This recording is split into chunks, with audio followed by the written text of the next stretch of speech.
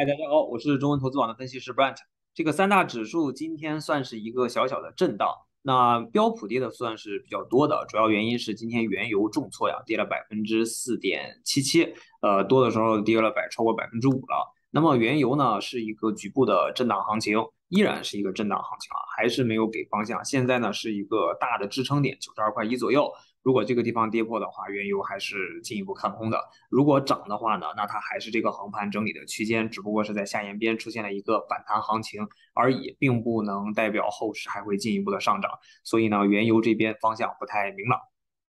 好，那纳斯达克今天呢是向上走高的啊。大家关注的我们的这个实盘的账户啊，我经常之前我经常分析说，有的时候呢我们分析的不一定对，所以大家呢一定要看我们的实际的交易。呃，对与错呢是要看这个盈盈亏比来算的。你赚钱你就肯定是对，亏钱的话就是一个错误的一个样子。那么我们今天呢，呃，我们大家关注的我们这个两万五的这个账户呢，呃，今天是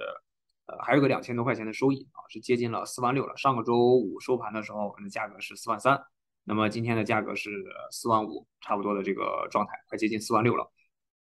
好，那今天呢，因为我们还是做了一些对的交易啊。我们在早盘的时候啊，市场呃这个地方一个调整结束之后我们进场做多了，然后我们高位平仓之后反手做空，后来尾部的时候再加仓，所以说可以说今天我们所有的进场出场和做空抄底的这个点位呢，都还算是比较精准的。那么大家可以去呃扫我们的二维码啊，屏幕上的这个二维码来索要我们今天早上实盘交易的这个回放视频。那我们的节目呢就是。我们的平台就是一个实盘交易，然后呃白天在直播的时候给大家做所有的这个视频交易，实时的下单喊单提醒的这样一个平台。那么大家可以要一下我们今天的视频回放。我相信上个周五大家已经要了我们的视频回放了，因为我已经得到了一些啊我们好视频朋友们的这个很正面的一个回复，谢谢大家的支持啊。那我们也会继续努力把这个节目往下做。那么很多的朋友可能自己的股票被套了，呃不知道自己该怎么办了。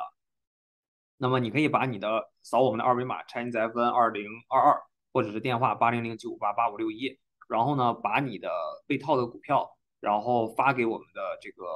客服，我们呢来帮你去呃诊断一下你的这个股票，值不值得长期持有，能不能拿得住，呃，什么时候该处理一下，是你这个股票有没有前景，来帮你判断一下，因为有的朋友们亏损了，不知道自己该不该处理，拿在账户里面就就很危险啊。好，那么三十分钟呢？这个指数现在是一个上升趋势，上升趋势呢，呃，大家要注意哈。我觉得呢，接下来这个平台怎么走，要取决于今天佩洛西去不去台湾。如果佩洛西去台湾的话，中国的话已经讲出来了，那么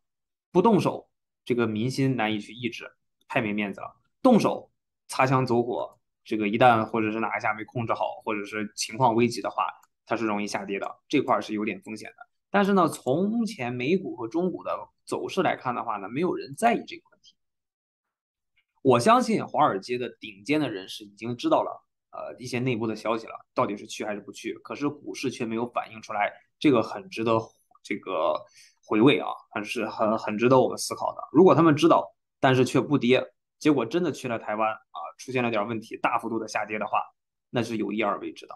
如果呢，他们确实是提前知道点什么，任何的回调都当成一个逢低买入的机会。今天佩洛西如果不去台湾，那么指数应该还会进一步的继续去上攻。所以这个位置上面我撤退了啊。今天的话，我们是把多头呃基本上清掉了，然后但是呢，我还是留了一点点空头去对冲一下我剩下的不多的多头的仓位。但是我们今天止盈了绝大部分的仓位，比如说 S H O P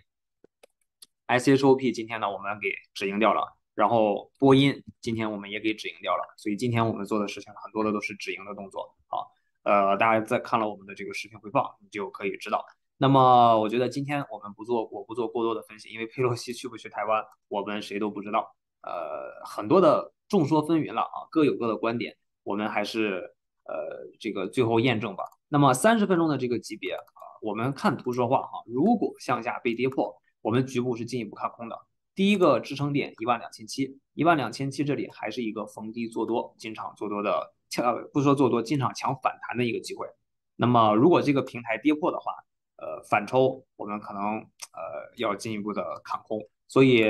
呃，台湾这边的这个局势还是蛮重要的。佩洛西到底去与不去啊，会对后市造成一些局部的影响啊。哪怕说真的去了啊，擦枪走火，或者说是有一点点的小争执什么的，短线会下跌，但是不影响大方向，还是会涨回来的啊。这个大方向的格局是不会改变的，所以我们目前看图说话，好吗？这是我们今天可以去分享的。好，谢谢大家，我们下期见，拜拜。